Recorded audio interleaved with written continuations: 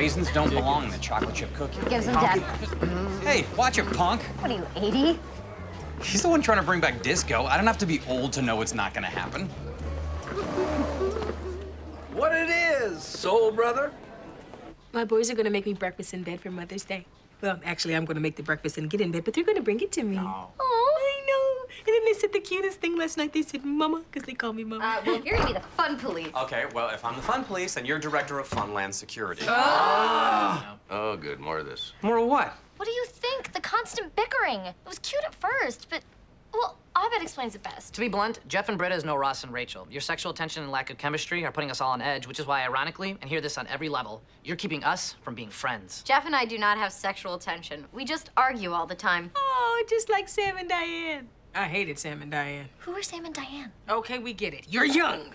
Sorry. You see what you're doing to us? Want my advice? Porker and move on. We did it all the time in my day. Yeah, well, you also put hydrogen in blimps, and that was bad. Hey, everybody! Just a reminder, our spring fling is on the quad today. Music, food, activities, what, what? it makes me uncomfortable. Hmm. Still in the room. There's also going to be a game of Paintball Assassin with a prize for last man standing. Or last man in a wheelchair with no paint on it. Or last woman. Give it a rest, Britta.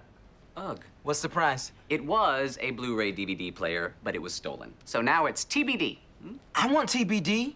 Is that new? If it's what I think, I had it for about a month in the 70s.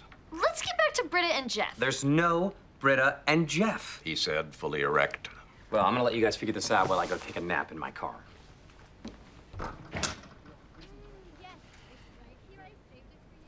What are you waiting for? Give me some more.